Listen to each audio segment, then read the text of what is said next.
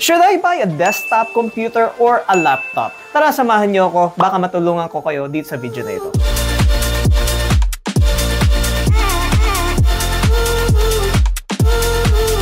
Good morning, good afternoon, good evening. This is Tito Dustin. And now, ngayon, hindi tayo mag-vlog ng mga any laptops. We're gonna help you purchasing the right computer for you, no? But we will not be biased on this video. The reason why we're doing this video is not just to make a sale from us, but also to help you. Probably, hindi mo naman talaga kailangan ng laptop. Probably, ang kailangan mo, desktop. So, meron tayong mga criteria. Ito yung mga 4 points na makakatulong sa inyo deciding if you're gonna buy a desktop or a laptop computer. Number Number one, specifications versus prices. Dito sa Laptop Factory, yes, we tell you specs, we tell you prices, that we are selling cheap laptops. But don't you know that for desktop computers, mas mura ang kanilang mga pyesa. Let's give you an example. If you're gonna see an i3 12 Gen processor of a desktop, mas malakas pa yon compared sa i5 12 Gen ng isang laptop. laptop So, ibig sabihin, if we're gonna move forward, mas malakas pa yung i5 12 Gen ng desktop compared sa i7 12 Gen of a laptop. Sa video card din. Ang video card ng desktop, as in talagang malaki. May mga fans, hindi katulad sa laptop, nasa isang chipset lang and then nandun na yung mga fans or whatsoever. Physically, mas malalakas talaga ang power ng desktop. About the prices naman of a desktop and compare a laptop, of course, if we're talking about an i3 12 Gen ng desktop na mas malakas pa sa i5 12 Gen, we all know na mas murang i3 compared sa i5. Yung 3050 ng desktop is mas malakas pa sa 3050 ng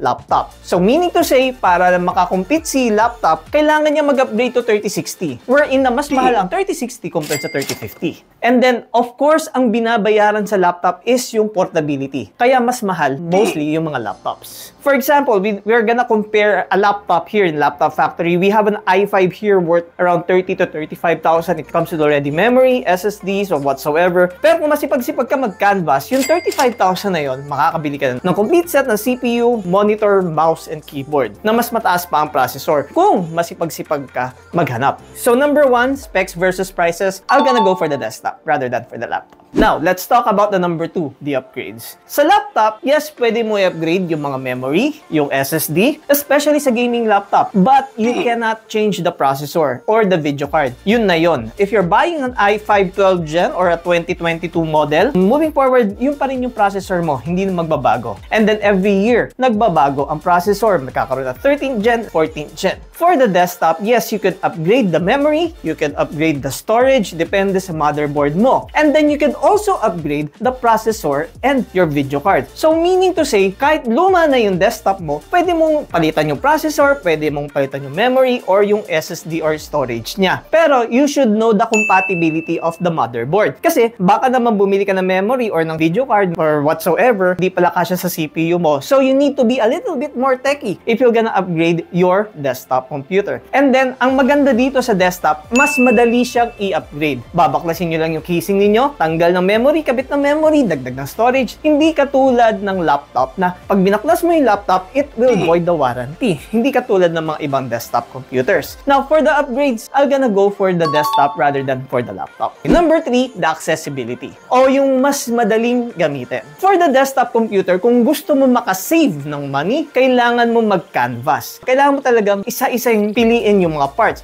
Bibili ka ng motherboard, bibili ka ng processor, bibili ka ng PSU, bibili ka ng CPU case, bibili ka ng memory, bibili ka ng storage, bibili ka ng monitor, keyboard, and mouse. Kung nabili mo na lahat yon, kailangan mo naman i-assemble to. Pag nagkamali ka na assemble, hindi mag-on yung desktop mo. Or meron naman desktop na talagang all-in-one na. Or yung pag bumili ka na, complete set na. Pero yung mga desktop na yon ay sobrang mahal. So by means of accessibility, medyo mahirap yung mga bago pa lang nagano sa mga computers, yung magse-setup ka ng desktop computer, actually medyo mahirap yon. Not like a laptop, lahat ng processor, lahat ng memory, yung keyboard niya, o yung mouse niya na tracking pad, nandun na lahat sa laptop. So, bubuksan mo na lang and ready to use na siya. Every time that you're gonna buy a laptop here sa Laptop Factory, you're just gonna press the power button and then everything is already there. And then, isa pa sa maganda sa accessibility, of course, laptop, you could use it anywhere. Portability-wise, laptop, pwede mo gamitin sa bahay, pwede mo gamitin sa work, pwede mo gamitin sa school, pwede mo bitbitin kahit saan. Hindi katulad ng mga desktop computers na stay lang sila sa isang lugar. So, for portability or accessibility, I'll go for the laptop rather than the desktop computer. Lastly, after sales. Ano mas maganda, desktop or a laptop? Now, let's talk about the after sales sa desktop, no? If you're gonna go on buying just the parts, yes, there comes with a warranty. For example, yung CPU, binili mo sa isang store, the memory, binili mo sa Lazada, the storage, binili mo sa Shopee. So, in case na you have a problem in the future on your desktop, iisipin mo pa saan mo binili yung pyesa na yon. And then, syempre, iba-iba ang warranty ng mga pyesa. Not like yung pag bumili ka ng built-in na desktop computer, yes, it could be under one warranty. For example, if you purchase all your desktop bundle in Acer, of course, Acer lang pupuntahan mo. Pero uulitin ko, yung mga ganong pre-build or yung all-in-one, mas mahal sila compared sa normal laptop.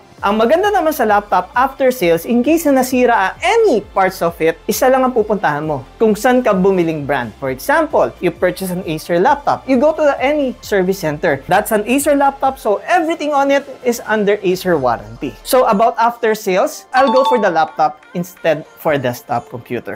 For the conclusion, no, if you are a computer enthusiast or marami ka nang alam sa computers, you know where to uh, buy parts and then you're not the person that is always on the go and then talagang you preferred more power. Yes, okay, okay ang desktop computer for you. Because alam naman natin na mas mura ang mga pyesa ng desktop compared sa one whole laptop. Pero if you're the person na hindi naman ganun kateki and you want ready to use na computer and then pwede mong bitbitin kahit saan, dyan pupunta si laptop. So sana nakatulong tong video na ito. Ngayon, if you're interested on buying desktops, meron tayo dyan malapit dito sa Laptop Factory. You can actually go to Gilmore, meron mga binibenta ang pyesa dyan. But if you're decided to purchase a laptop or just few walks away from Gilmore. Nasa tapat lang tayo ng Robinson Magnolia. Kaya nga ang motto natin, basta laptop, Laptop Factory. Sana nakatulong tong video na to. Have a good day. Thank you. Bye-bye.